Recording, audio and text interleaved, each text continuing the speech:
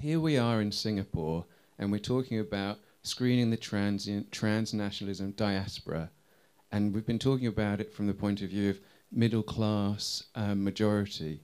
But it strikes me that the vast majority of people in this room and in Singapore are part of a diaspora.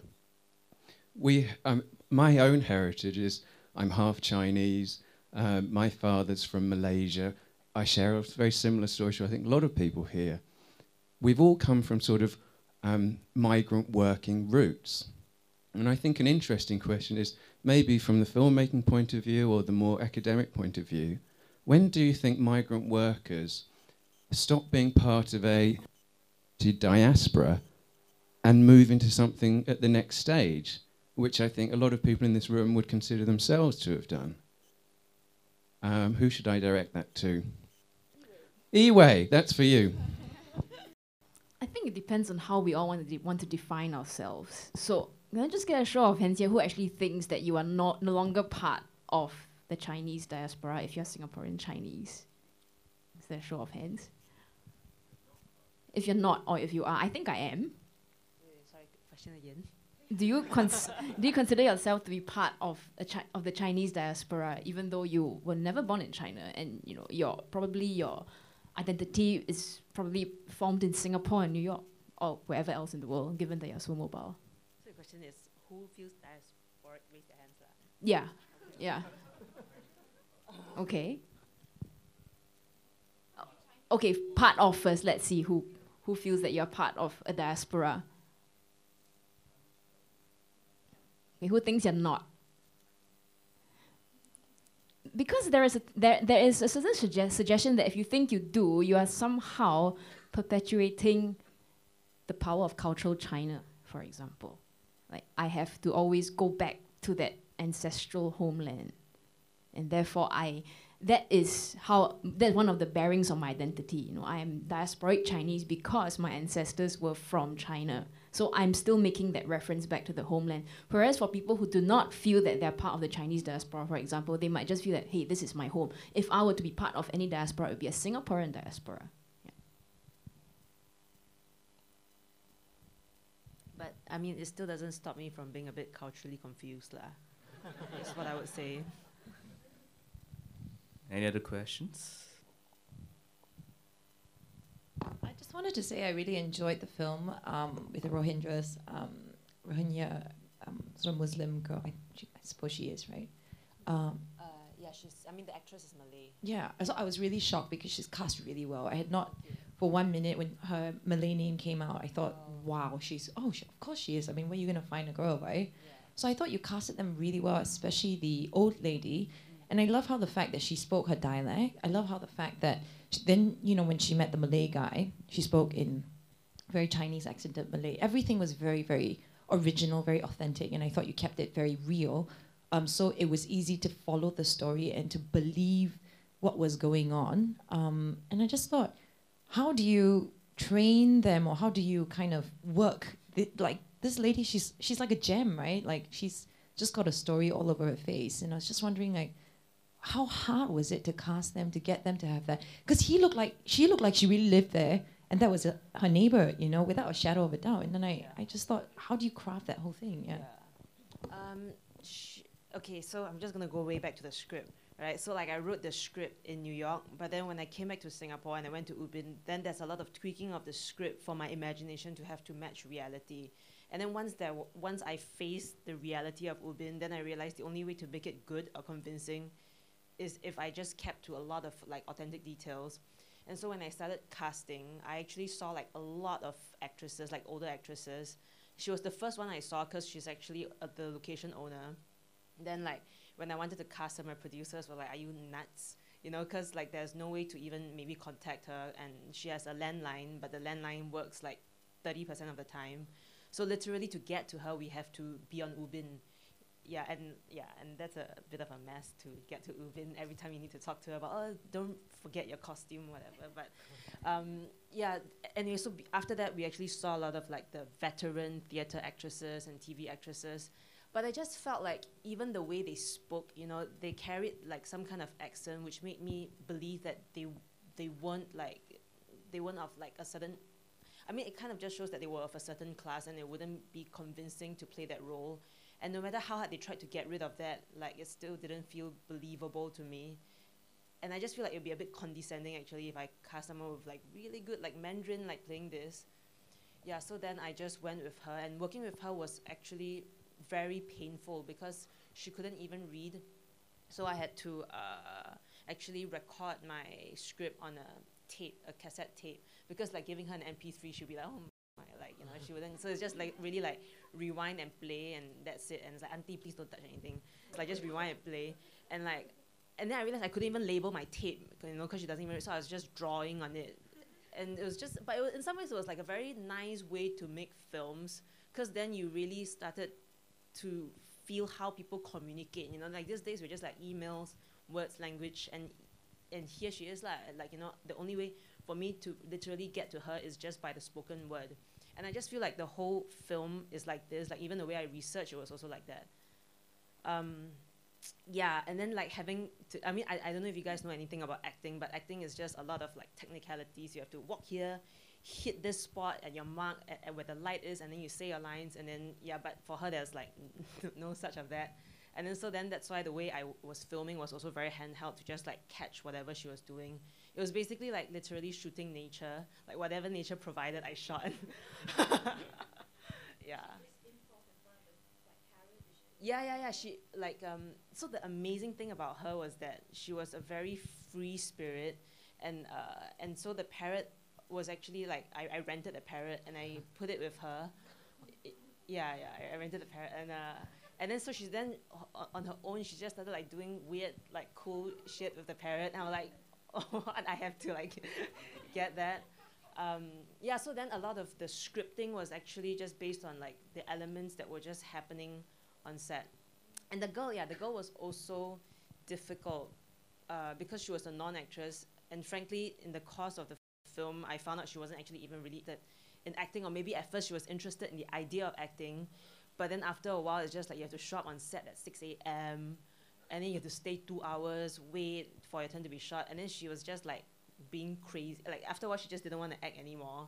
Yeah, so she would start wailing like from 2 p.m. onwards, 3 p.m. And then they actually didn't like each other very much. Yeah, because she was very rude.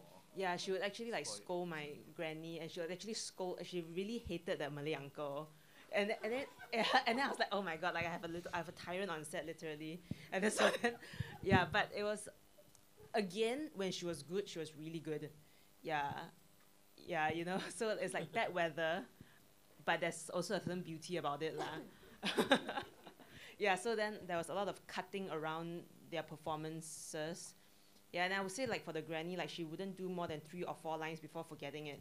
So then that's why I had a lot of coverage, so I could cut from this to that to so it was just all pieced together in the end. Yeah.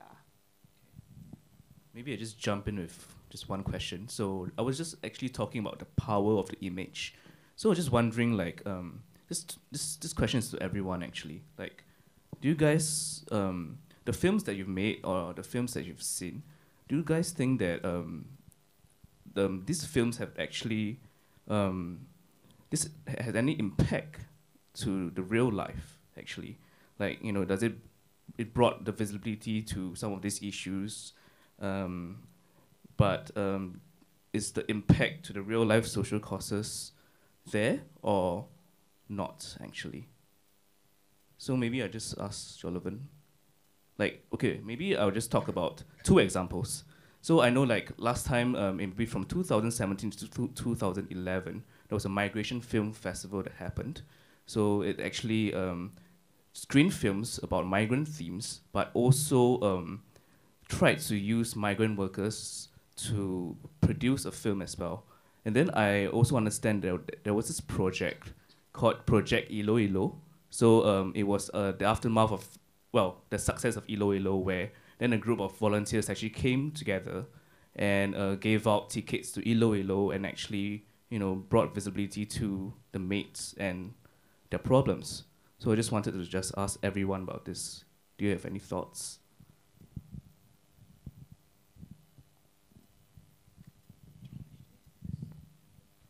if any one of us has read the new paper recently, there was this report about the the the maid who got stabbed by her Bangladeshi boyfriend. Did anyone read that? Yeah. So I'm just wondering about how the media, with their their photographs, how does it actually perpetuate the stereotype of the Filipino maid and her Bangladeshi boyfriend? Yeah. I'm just wondering. I mean, if anyone out here is in- working in the media or how So recently I went on shoot to Bangladesh, and I hate to say it. I know there's like, of course, the salacious part where there's a crime committed. Then you, I think sometimes then you read about like where they're from. If it's a horrific crime like the murder with the, you know, that there's been another case with the Burmese men and stuff. So there've been, of course, there are other murders, I think, but it's it's kind of you're right. It's it's brought up in that vein where oh look at this, but there is truly also a love story with Filipino mates and Bangladeshi workers, and I love it. Like we took the plane and it was really interesting. So we saw this family, and it was like grandma, grandpa, and then um, that's Bangladeshi man's um, side of the family, and then his Filipino wife and his two kids, and he was speaking Tagalog with them, and they all traveled as a family, and of course everyone was going like there a lot of Bangladeshi men going back to Bangladesh, so you know everyone was just looking at them, and they were so cute, and I thought, you know, if they found love in a hopeless place in Singapore, that's really beautiful, right? I know, I- you know, I might be. So I so I guess there's that, you know, there's um sort of silver as well. It's not all tragedy, doom and gloom, but um I, I hear what you're saying as well. That was in Bangladesh, right? No, there was a Is plane it? in Singapore Oh, Changi Singapore. Airport, so they Oh. were getting ready to go back to Bangladesh. Oh, okay. Uh, yeah, I think they were moving back or something. Yeah, but the media, I think, is actually one of the real culprits of perpetuating all these stereotypes. For example, I think the open li- the opening line of the report was, "Love hurts, but it doesn't have to be cutthroat." Meaning, yeah, because the the Bangladeshi man stabbed her in the throat. So you see, when, when you have lines like that, together with the image, you know, so this is when text and image work together to perpetuate a very very negative stereotype. So I'm wondering how filmmakers can actually counter that. No, and I just think it's very funny. I'm just gonna up the amp here a bit. Uh, because like I just also realized like even the language we use right at this moment to discuss this, you know, like like it's kind of like they are so cute, they are happy people. So like even the way we see them, there's also this objectifying thing going on already. Not to say it's wrong.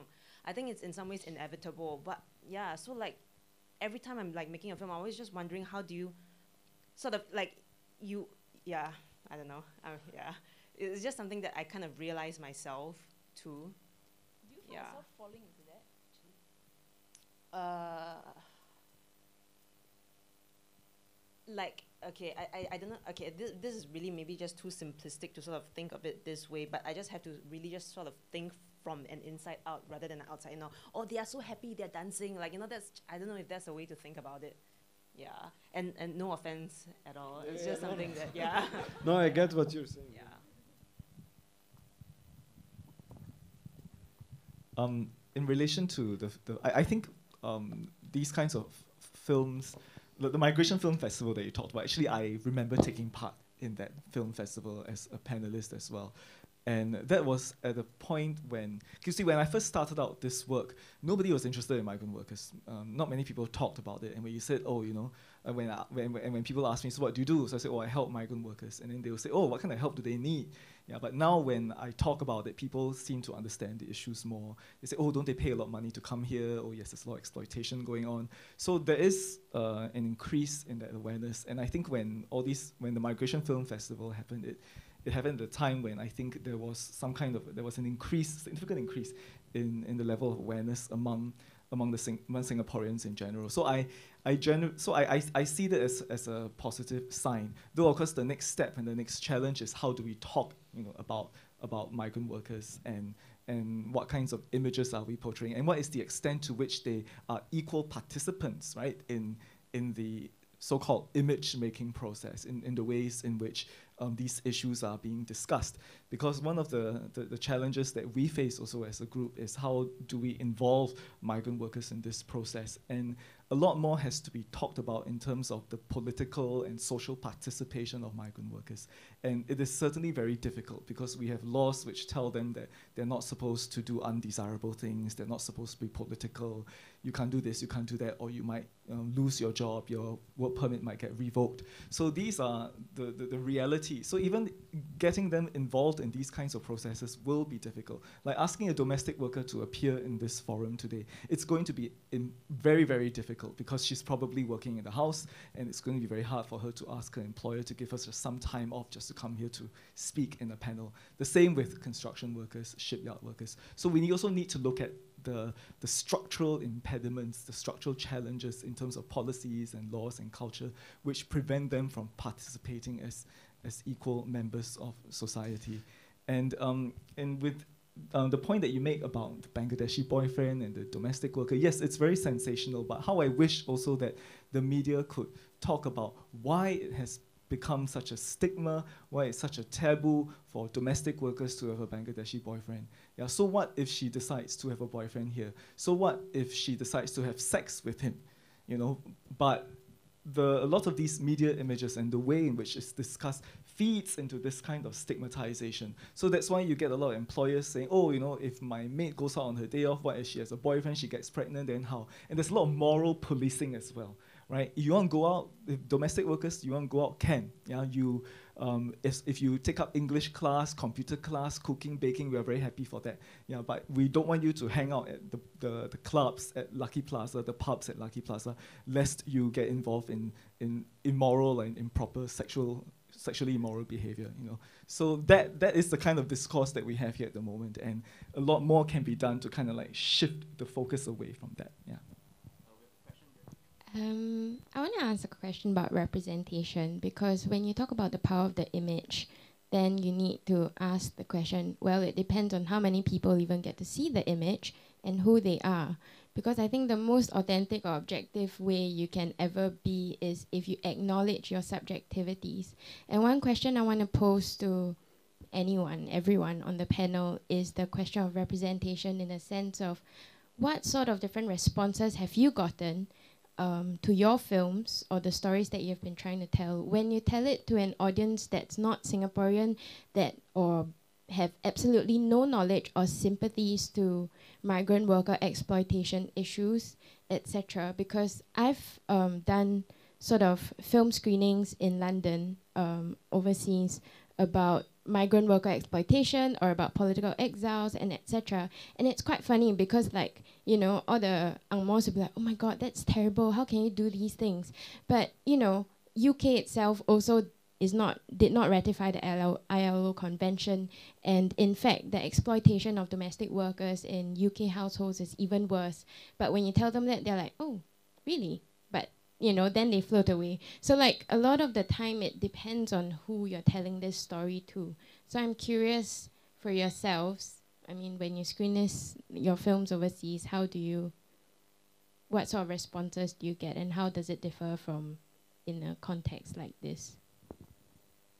Um, I mean, when you see uh, workers dancing, everyone is laughing, and uh, it looks like you know. Some, a friend of mine told me that I'm making fun of workers, which was never an intention. But uh, I actually people kind of that that film is what people get very, I would say easily. I mean, like they they see the environment, how these people work, um, and that's it. But the second one is the one that was shot uh, about this couple, which is a bit more uh, difficult, uh, and uh, a lot of people cannot. Um, kind of connect to that uh, in comparison to the other two stories that I have in the film because it's maybe something that is kind of connected to Singapore and people who are not from Singapore who didn't see Singapore they cannot find many connections there to the landscapes and whatever I was trying to say or to the image but in my case I can so I don't know I, I kind of uh, have a connection there but I also had like some other things to, to, to mention but maybe later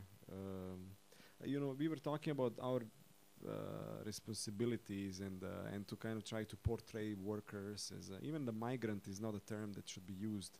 Like a lot of people are against this term, but um, you know when you go to a construction site and uh, you come with a camera in the construction site and you're working with people who uh, spend two years just to get on that construction site, they're not gonna joke. They're not gonna show their personality. They're just gonna work, and when they see you, they'll put the helmet, you know, and they will uh, pretend to be the best workers in the world.